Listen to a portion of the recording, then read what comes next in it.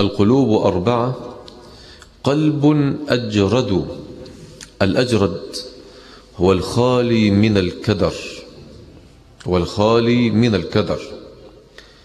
ليس فيه غل ولا غش ليس فيه غل ولا غش. قال النبي عليه الصلاة والسلام من غشنا فليس منا. والمقصود بالغش أن يخالف الظاهر الباطن.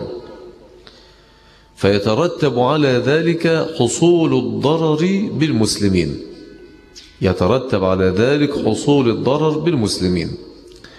هذا قد يكون في المادة وقد يكون في المعنى.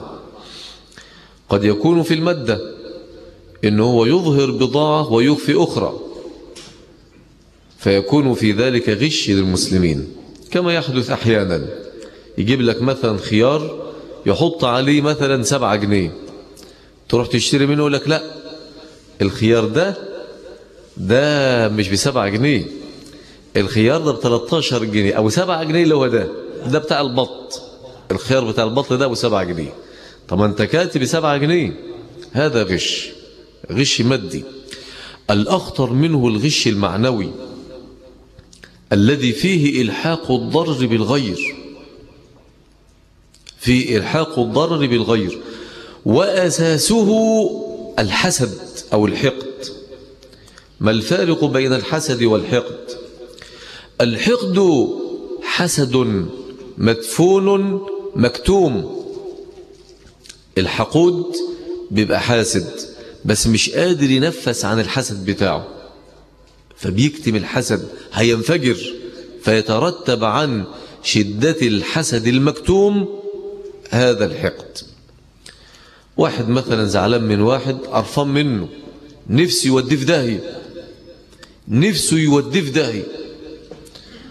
فيقول له الأحوال في مصر متأزمة ونفسي أشتغل أعمل حاجة للعيال والبتاع. يقول له عليك برواندا. رواندا دي ما شاء الله بيدوا هناك المرتبات بالذهب. بيستخرجوا الذهب من المناجم وبعدين ما بيدوش بقى زينا كده. يدوك مثلا مقطف ذهب مقطفين.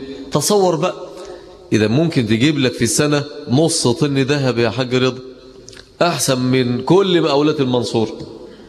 الراجل بقى يقول بقى ما شاء الله 500 كيلو ذهب الكيلو ذهب مثلا بنص مليون جنيه.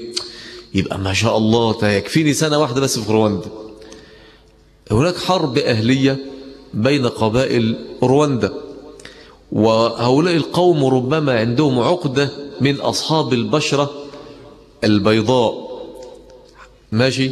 الراجل يوصل ينزل من المطار يمشي في الشارع ياخد رصاصة ويموت ويرجع في صندوق. إذا أنا نصحته ولا غشيته؟ غشيته. هذا غش. هذا غش. هذا قلب فاسد مليء بالكدر. ولهذا أهل الجنة ينظف الله تعالى قلوبهم من هذه الأقدار. قال الله ونزعنا ما في قلوبهم من غل من غل لأن الأخوة تقتضي عدم وجود الأقدار. ده الأخوة.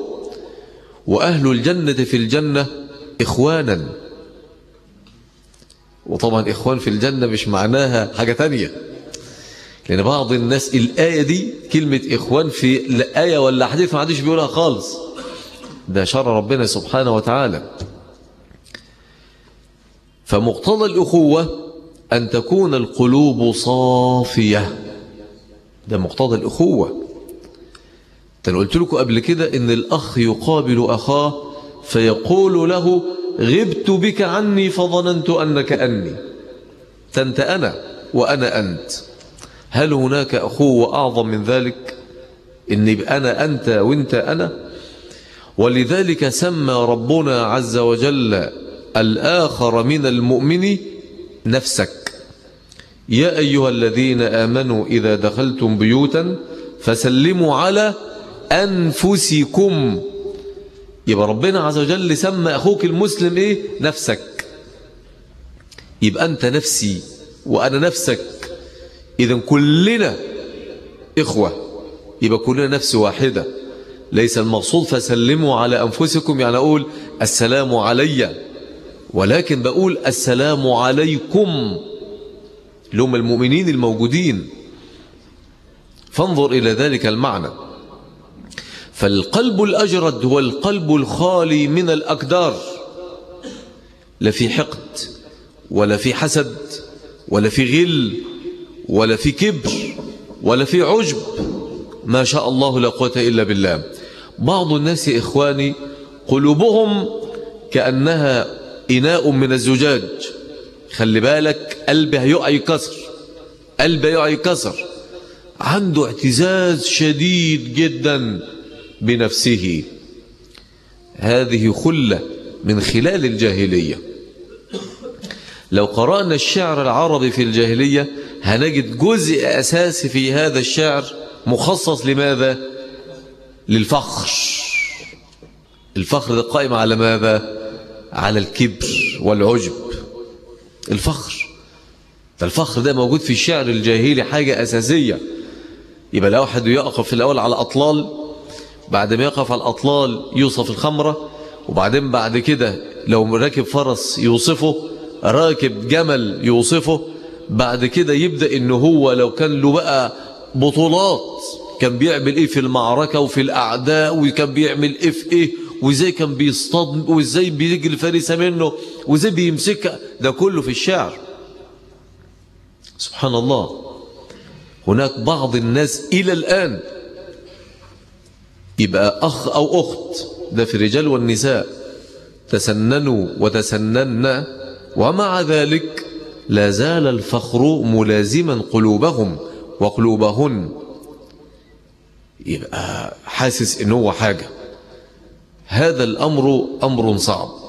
ولذلك النبي صلى الله عليه وسلم قال التواضع في أهل الغنم والكبر في أهل ماذا؟ الإبل. لأن الإبل دايما شمخة براسها كده والبتاع. سبحان الله. فلابد الإنسان أن يراعي قلبه. القلب ده كالمزرعة. إذا تركت قلبك دون رعاية فسد ذلك القلب. المعاني الفاسدة تنبت في قلبك. بتسيبها تكبر المعاني الفاسدة دي. كانت الأول سهلة يمكن أن تقتلعها بسهولة. عندما تتركها تصبح هذه المعاني كالشجر العظيم الذي يصعب قلعه. يبقى أول حاجة القلب الأجرد القلب الأجرد. القلب الأجرد ده باختصار هو على أصل فطرته. لذلك أنا لما بعض الإخوة حقيقة بغبطهم على قلوبهم وبينه وبين نفسي أقول الإخوة دهيت أحسن عند الله من أمة مثلي لأن في اعتقادي أن قلوبهم نظيفة جدا لأنها أقرب إلى الفطرة.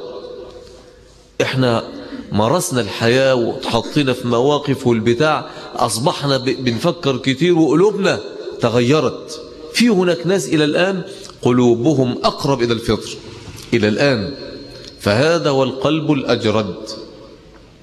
فالقلب الأجرد فيه مثل السراج يزهر يزهر أن يتلألأ.